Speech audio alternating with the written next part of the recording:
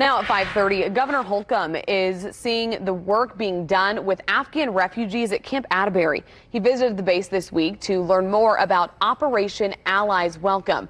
Refugees began arriving at Camp Atterbury last week. About 5,000 refugees are expected to be housed there in the coming weeks. Holcomb says there's been an outpouring of kindness from Hoosiers to welcome those who helped American troops in Afghanistan.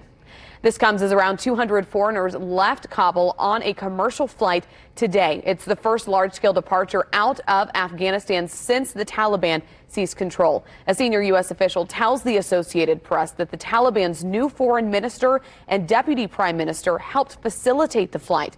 Another 200 passengers will leave tomorrow. It's not clear how many Americans are still in Afghanistan.